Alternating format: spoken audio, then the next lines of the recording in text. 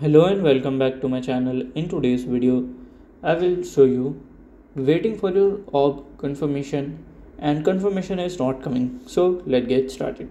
So if you open your World app and if you have done your Orb or verification or the verification center and the verification has been not confirmed till date, what do you have to do? So basically the first thing that you can do, you can contact your uh, like World app support and you can tell your problem.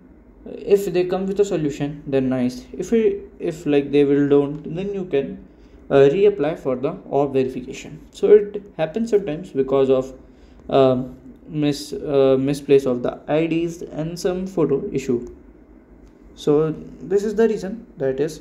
And if you have any question you can let me know in my comment section. And if you find this video helpful make sure you like subscribe and share the video. Thank you for watching